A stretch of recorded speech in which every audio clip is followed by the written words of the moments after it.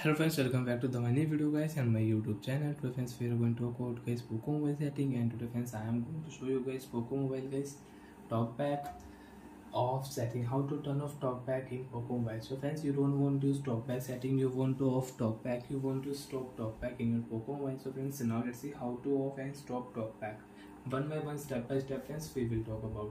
So before starting to friends first of all go and subscribe the channel. Click the bell icon like the video. So friends you have talkback setting use your two finger unlock your device. After unlock phone again swipe with two finger scroll.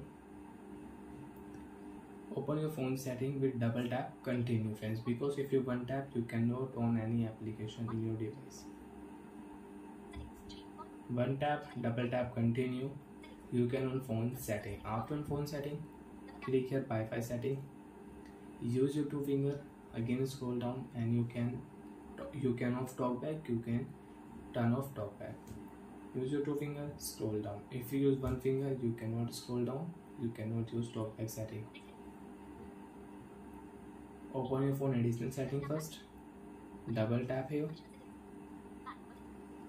Accessibility setting double tap.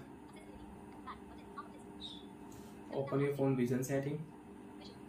Double tap here talkback setting double tap.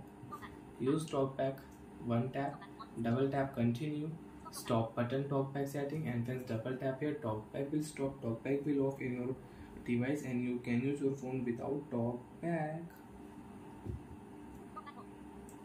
after turn off talkback friends now you can use your device without talkback you can scroll with one finger.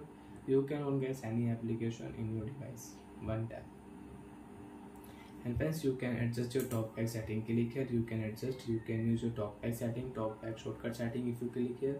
So friends you can on your mobile talkback shortcut setting.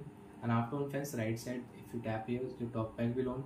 One tap double tap talkback will off. So like that like that guys you can use talkback shortcut setting also. Bye friends